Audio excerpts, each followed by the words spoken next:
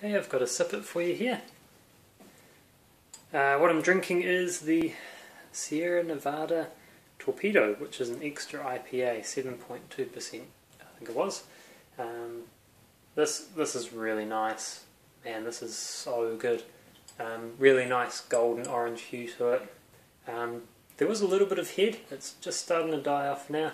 Um, no worries. Phenomenal. Lovely, lovely, lovely citrusy.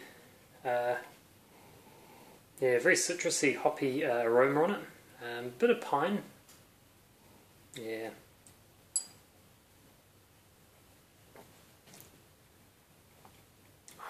Dude. Really, really nice. Perfect balance between malt, hops, and bitterness there.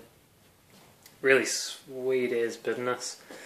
Um, sort of rolls off at the end. The um, the uh, grains used are really nice. Uh, really nice malt backbone to this one. The hops are wicked, very piney. Uh, just a tad of citrus in there. Um, bit of earthiness as well, actually, I detected. Oh man, so good.